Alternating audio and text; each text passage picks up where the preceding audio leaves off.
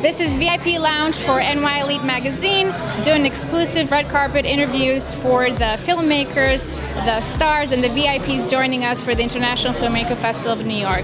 Join us and welcome. Welcome. It is my pleasure and honor to be here with the Honorable Congressman Mark Gjonaj.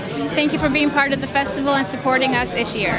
Uh, thank you for having me. It's another fantastic evening, bringing the arts and the culture to New York City and adding to its fabric. It's a wonderful night for all of us.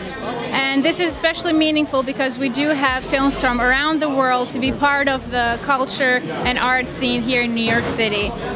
Our community has a lot to offer, and it's just fantastic that we could do it on such a stage as New York City and express ourselves and share a bit of our traditions, culture, but also our talent and gift.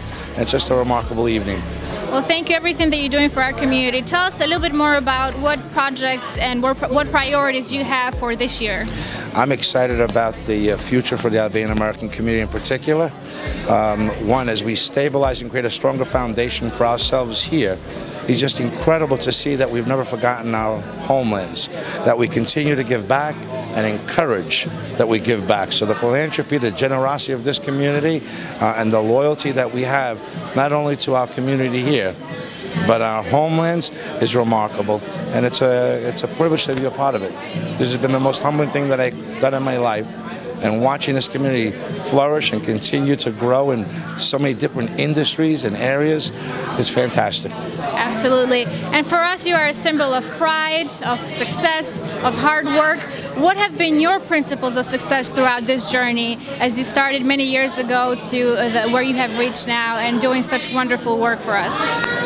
I guess it's uh, how we're brought up as a people, we believe in hard work, and it's that hard work, and when we commit ourselves and we dedicate ourselves to the task at hand, we excel.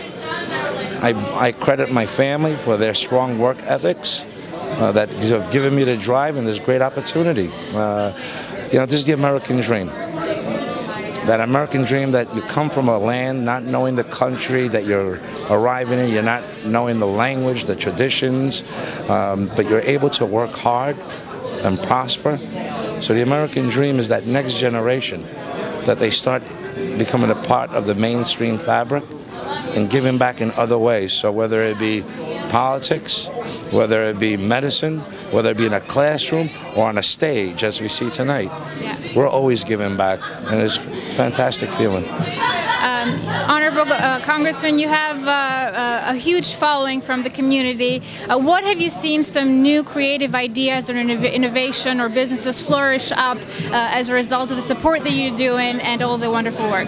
So we're at that part, we're at that phase now as a community that as we continue to grow, and we've in four major industries, construction, real estate, restaurants, and uh, tenement buildings and large commercial buildings. Now it's about bringing those players together so they can benefit from purchasing together, building back on the bulk purchase discounts. I'm looking forward to working on a pet project, which is going to be our, our own bank someday. Being able to really build on the successes so that we can benefit from one another and leave a stronger future for the next generation, something that they can continue to grow on. Uh, and it's an exciting time for our people. It's an exciting time for our future. Uh, it's a wonderful place. And we are absolutely at a better place because of everything that you do. And finally, what have been maybe your three key issues that you have taken to heart, you know, in addition to all the other ones that you have been adding on? Preserving our language. That's key for me. Uh, we opened up the first full dual language school in New York City. It's actually the first one in the country where half the classes are offered in English, the other half are offered in Albanian. And that continues through elementary school. So they walk in kindergarten, and for the next eight years, they're learning both languages. So that's preserving our language while we learn the American language, and it's a fantastic way that we keep our culture, our traditions, our rich culture and traditions alive. And it's done through language. Absolutely, and it's definitely building that bridge, like you said, connect, connecting yeah. our culture and helping those that are already here to fit in, to uh, do well, succeed within United States, as well as represent Albania or whatever part of uh, Albanian and background that, they have. And then that bridge is to reciprocate. Yeah. So we should have students from here going back to our homelands, and the students in our homelands come into this country so they can experience life.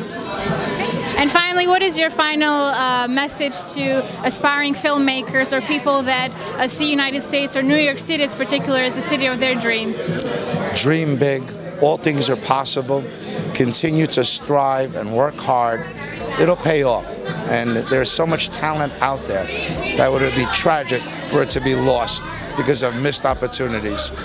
Nothing comes easy, so expect to work hard, and that sweat equity will pay itself off. Thank you. It's been a pleasure. Thank you again.